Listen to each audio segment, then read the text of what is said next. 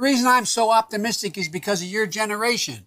You're the smartest, Y'all bitches need to fucking brush your teeth before you suck dick. the best educated, Y'all eating barbecue ribs the whole day, bacon, egg, and cheese. Then you suck your nigga dick, and right after he directly put it inside your pussy. Now you got bacon, egg, and cheese grease inside your pussy. the least prejudiced, Y'all bitches be fucking these little dirty ass niggas. Y'all be sucking they dick and shit. And y'all be gagging on it. Y'all think y'all gagging on it because the dick is big. But no, bitch, it's because it stink. and the most engaged generation in American history. Your dick smell like mustard, my nigga.